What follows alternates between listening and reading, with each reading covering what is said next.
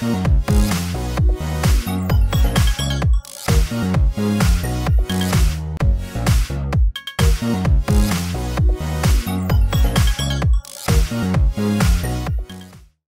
kochani, witajcie w moim dzisiejszym stroju dnia z shortami w króliki.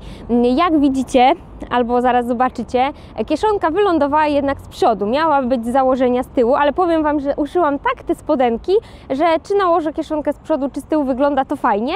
No a dzisiaj jakoś miałam taki humor, że jak nałożyłam e, normalnie, czyli żeby kieszonka była z tyłu, to mówię nie, jakoś mi tak łyso, czegoś mi brakuje, no i zamieniłam i mówię, super ta kieszonka, tak żebym miała co z ręką zrobić.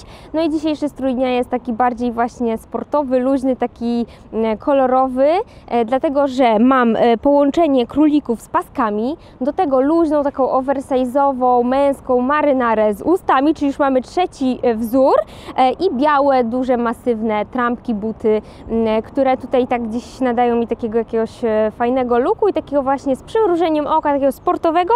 No i oczywiście furla zielona, żeby fajnie korespondowała e, z shortami, czyli góra jest taka bardziej trochę jakby e, elegancka, bardziej taka casualowa, a dół bardziej sportowy i całość tak taki miks, no to to jest to, co ja lubię i myślę, że no, mi się podoba, myślę, że wygląda to fajnie, prezentuje się e, inaczej niż e, dotychczasowe moje propozycje, także mam nadzieję, że Wam się podoba.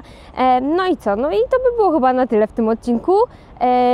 Piszcie, jak Wam te shorty się uwidzą i czy udało Wam się uszyć takie same albo podobne, a ja się dzisiaj z Wami już żegnam i do zobaczenia w kolejnych odcinkach. Pa, pa!